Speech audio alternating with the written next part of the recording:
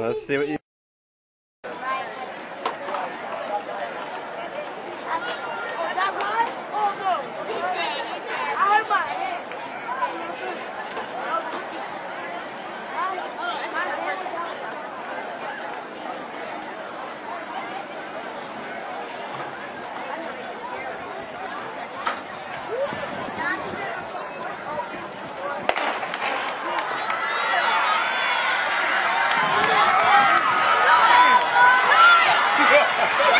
First call, Bantam boys, Bantam girls, 4 by 100 meter relay.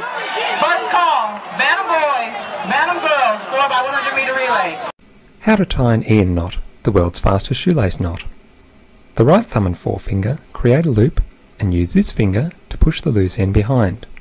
At the same time the left thumb and forefinger wrap their loop around the first and each side simply pulls the opposite side's loop through each other.